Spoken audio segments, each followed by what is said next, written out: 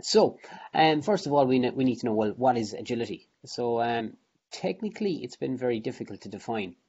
Um, so there has been there hasn't been any real consensus in the in the research, and people have traditionally defined it as the physical action, action stopping and starting without any recognition of the integral role that the brain or the mind um, and the ever-changing dynamic nature of soccer play when it comes to uh, agility performance. And while there are several definitions of agility, we at Beyond Pulse, like Verstegen and his colleagues, define agility um, as a physical skill in which players can slow down or change direction or speed up in response to um, a cue, in response to the environment, in response to the movement of an opponent, in anticipation of a teammate.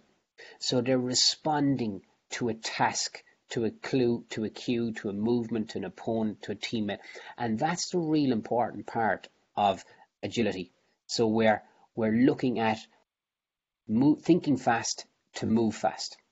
So um, if we've now descri- described what is agility, little bit about what seems to be perceived as agility, especially if we look in, in, in the internet. So, um, a simple search for examples of agility um, drills on YouTube or any other social media platform um, will produce a whole host of entertaining clips of players performing different movements at pace and with exceptional coordination through ladders, cones, poles, obstacle courses, um, etc. You name it and you'll find it.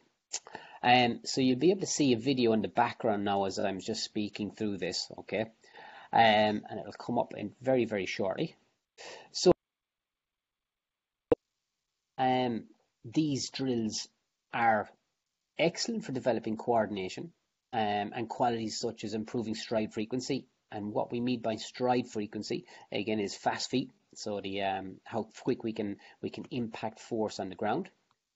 They don't necessarily help to improve players' agility performance. Now, that's not to say that these practice drills should be removed from practice sessions. Um, we're far from it. In fact, we use it as part of our three stages.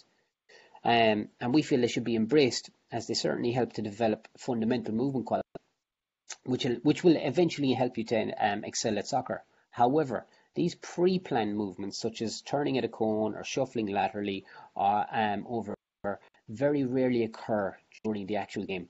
So it's important that we progress on these pre-planned movements, looking at stage one, then moving on to stage two, reactive, and then stage three when we're talking about um, competitive small-sided games.